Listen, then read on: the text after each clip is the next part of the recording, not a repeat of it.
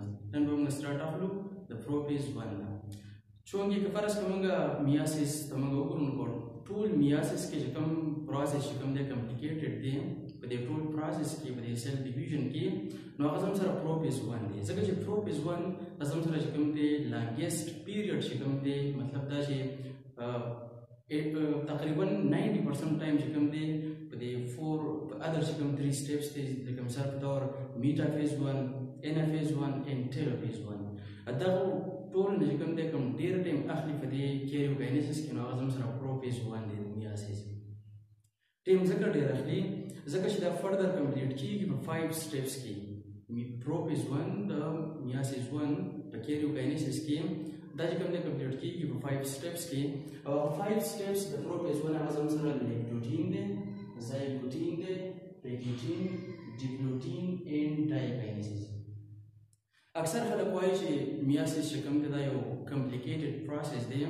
نو دومره ګران نه دی خو که فرض که څوک وایي چې ګران دی نو هغه مین سټیپس دا دي په دې کې د ټولو نه ګران چې کوم څیز دی نو هغه پروپیز ون دی امید لرم چې زه په کوم پروسس دا کوم پروسس په کومې طریقې سره بیانوم دا به ستاسو په ذهن کې په ښې طریقې سره چې کوم دی راشي نو موږ سټارټ اخلو د پروپیز ون نه او د فرست سټیپ نه د پروپیز ون چې هغه زموږ سره چې کوم دی لیکټوټین دی دا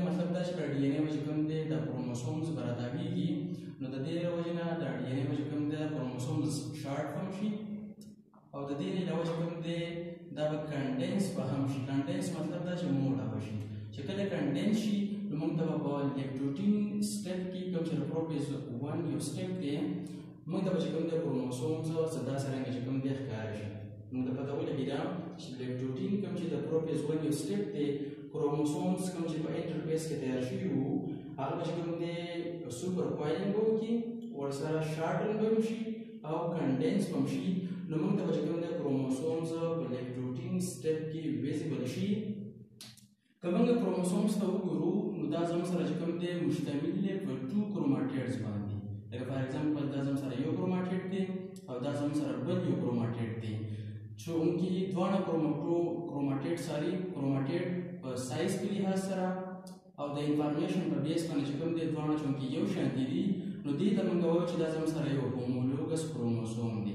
هومولوګس کروموسوم موږ هغه کروموسوم ته وایو کوم چې یو شان دي کروماټیډز لري که موږ فرض کړو د کرومو د کروماټیډز ته موږ وګورو نو چونکې دا زموږ سره چې کوم دی اټیچ شوي دي هول شوي دي with the help of a special structure which is known as centromere centromere چې کوم دی ریسپانسیبل دی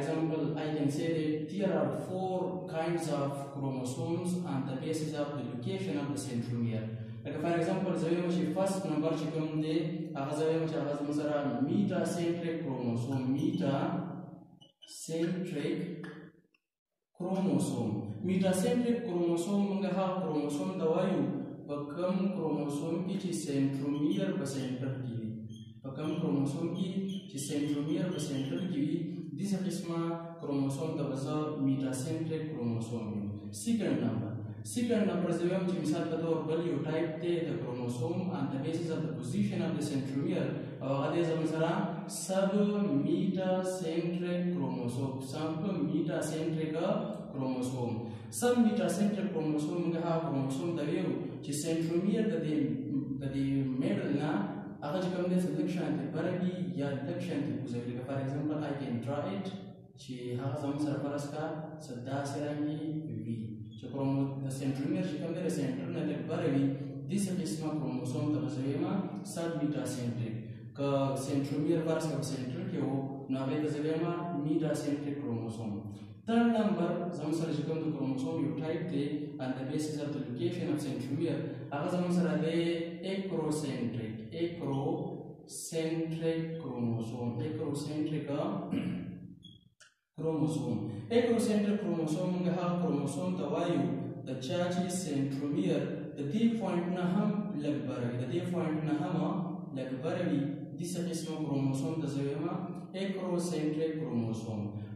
فور نمبر چې کوم د کروموسوم کوم ټایپ دی هغه دی زموږ سره ټیلوسینټریک کروموسوم ټیلوسینټریک کروموسوم ټیلوسینټریک کروموسوم د هغه کروموسوم د ویما ان د بیس د لوکیشن اف د سنټرومیر چې به هغه کې سنټرومیر په ټاپ باندې وسه باندې وي په ټاپ باندې نو چونکی کوم وګورو سنټرومیر په ټایپ په ټاپ باندې دی نو د ټاپ د وجه نه چې کوم دی دا کروموسوم زموږ سره ویک دی نو دا ویک چې کوم کروموسوم دی کوم چې ټایپ دی د ټیلوسینټریک کروموسوم دا په انیمل سیل کې به چې کوم دی دا به ابسنټ دی په انیمل سیل کې به دا ابسنټ دی که تاسو مسوب د پوښتنه کې چې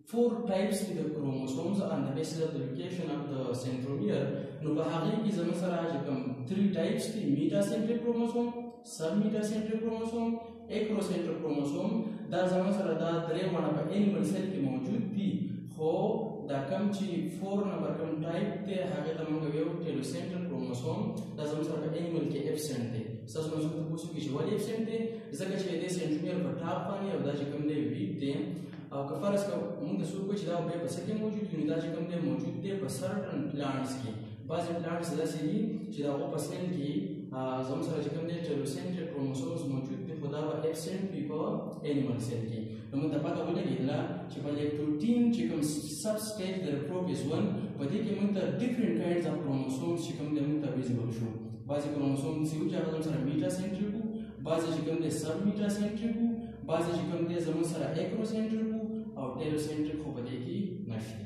نیکسټ موږ خبره کوو چې هغه زموږ سره زایګوټین سټیج دی سب سټیج دی د پروپلیز وان زایګوټین په اصل کې زموږ سره داسې یو سټیپ دی چې په دې لیپټوټین سټیپ کې چې کوم کروموسوم موږ ته ویزیبل شو دا اوس هر یو چې کوم دی جوړه جوړه خو مین پوینټ دا دی چې دلته خو کوم کروموسوم زمونږ ته ویزیبل شو د هغو خو د چا د سنټرومیر یو شان پوزیشن دی په کروموسوم کې د چا بل شان پوزیشن دی او د چا چې کوم دی بل شان دی نو پیرینګ به هغه کروموسومز کوي د چا چې د سنټرومیر پوزیشن چې کوم دی سیم ټو سیم وي لکه فار ایگزامپل زه وایم چې زایګوټین زموږ سره داسې یو سټیپ دی چېرته چې ساینپسیس اکر کېږي ساینپسیس اکر کېږي اوس ساينپسيس موږ څه ته وایو ساينپسيس از جست د پروسس ان وچ د پیرینګ اف کروموسومز ټیکس پلیس دلته چې کوم دی په دې سټپ کې به پیرینګ اف کروموسومز کیږي مطلب دا چې د کروموسومز جوړه به جوړیږي د کوم کروموسومز جوړه به جوړیږي د چا چې سنټرومیر پوزیشن سیم ټو سیم وي لکه فار ایگزامپل زه یم چې دا زموږ سره فرض کړئ یو کروموسوم دی او دا زموږ سره چې کوم دی بل کروموسوم دی نو دا زموږ سره یو هومولوګس کروموسوم دی دا بل هومولوګس کروموسوم دی نو چې کله ټو هومولوګس کروموسوم ریمبر دیس ورډز چې کله یو هومولوګس کروموسوم بل هومولوګس کروموسوم دا زموږ سره فرض کړه پیر جوړ کی جوړه جوړه کی داسې قسمه کنډیشن ته داسې قسم پروسس سره چې کوم دی موږ سره یو ساینس چې زه دا ومنم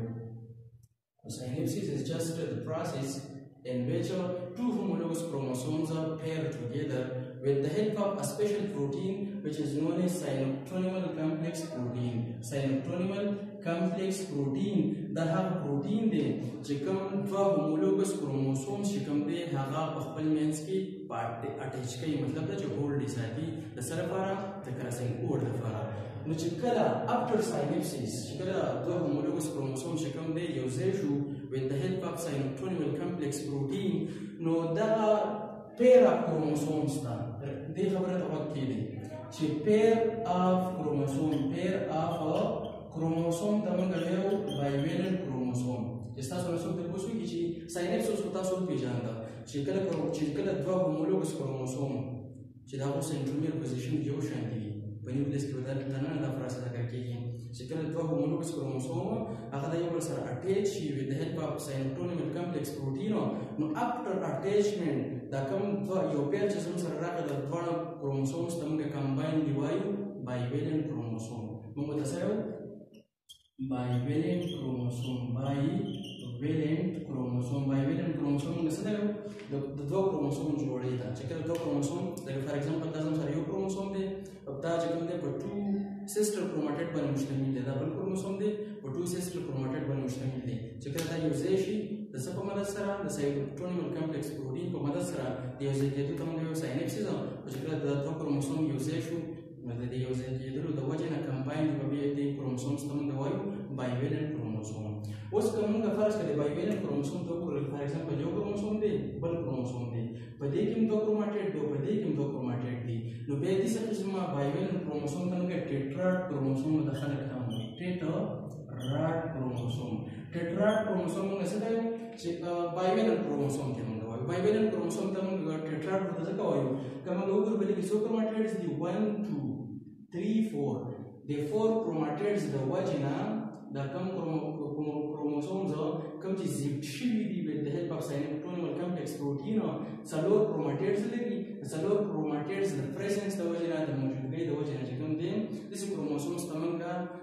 ټیټراډ کروموسوم وایي نو په دې ځای پروټین پیس کې چې کوم دی کوم چې سب سټیج دی د پروپیز 1 په دې کې درې خبرې چې کوم دی واقع شوي یو پکې ساینپسیس واقع شو ساینپسیس موږ هغه ته وایو چې کله دوه هومولوګس کروموسومز چې د سنټرومیل پوزیشن سیم ټو سیم وي هغه د یو بل سره اټیچ شي وي د هیلپ اف ساینټرومیل کمپلیکس پروټین سیکل چې دا اوس پرس کا اټیچ شو د سې کروموسوم ته ځای وایم بایویلنټ کروموسوم نو اوس بایویلنټ کروموسوم څو کروماټیډز لري دوه کروماټیډ او دوه کروماټیډ نو فور کروماټیډز لري به زه دې بایویلنټ کروموسوم ته ځای ټیټراټ کروموسوم ته هم ځای وایم ټیټراټ کروموسوم ته ځای کوي ما ځکه چې په دې کې فور کروماټیډز دي چې شپږ کې دي فور کروماټیډز پکې پکې دي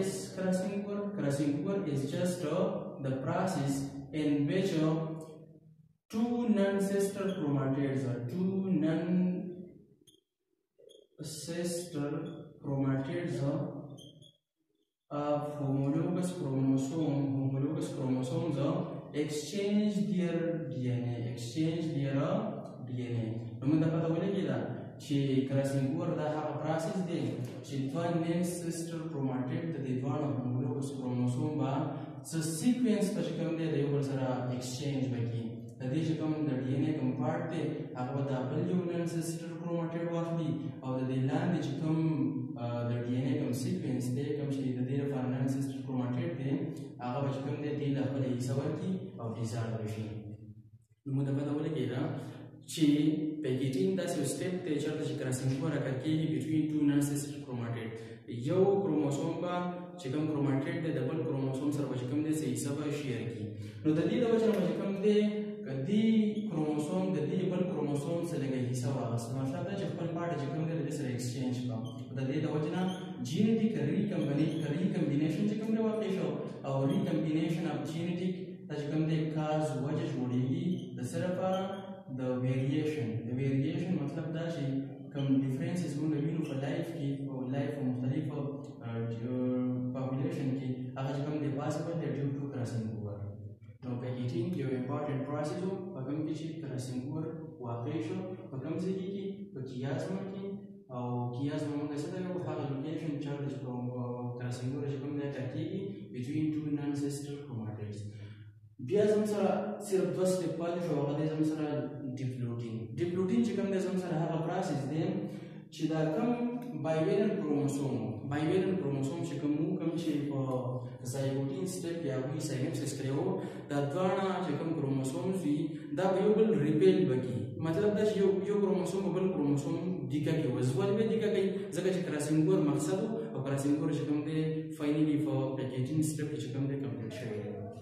اوس ګورئ ډیپلوټین ډیپلوټین داسې یو سټیج دی چې چېرته به زموږ سره چې کوم دی ریپیلینګ به اکر کېږي ریپیلینګ به اکر کېږي بټوین په چا په مابین کې بټوین بایویلن کروموسومز دا کروموسوم به دا یو لیکه کېږي او دا کروموسوم به دا لیکه کېږي خو لیکن صرف یو پوینټ په ذهن کې ساتئ یو بل به ریپیل کی یو بل به چې کوم دی دیکه کی خو لیکن بیا به هم دا کروموسومز په یو خاص پوینټ باندې به چې کوم دی ریمین اټیچ په پاتې کیږي په کوم پوینټ باندې به دا اټیچ پاتې کیږي په کوم ځای کې چې کراسینګ اوور شوی وو کراسینګ اوور په فرض کړه په دې پوینټ باندې شوی وو نو په دې پوینټ به دا چې کوم دی اټیچ پاتې خو نور کروموسوم به د یو بل نه جدا شي که فرض کړه کراسینګ اوور په دواړه پوینټ باندې اکر شوی وو نو نور به چې کوم دی کروموسوم جدا جدا شي لیکن اټیچ به پاتې شي ریمین په دې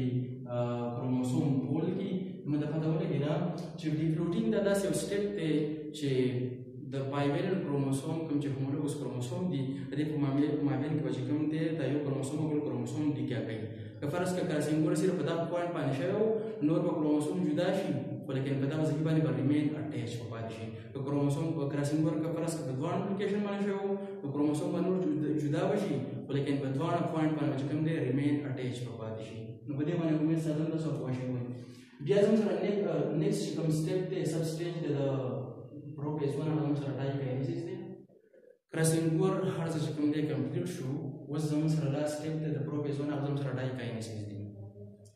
دا یې کایلی سي زموږ سره داسې یو سټپ دی که تاسو دلته وینئ یو زموږ سره چې کوم دی د تاسو ته نیوکلیر ممبرین ورته تاسو وایي کوم چې نیوکلیس متاو دی دا نیوکلیر ممبرین به چې کوم دی دا په ډیس تفیر بشي مطلب دا چې دا به چې کوم دی بریک بشي او چې کوم نیوکلیوسوم تاسو ته ښکاري دا به چې کوم دی هم ډیس تفیر شي او چې کوم سنټرول تاسو وینئ سنټرول دا به چې کوم دی د نیوکلیس د کروموسومز اپوزیټ سایډ ته ولاړ شي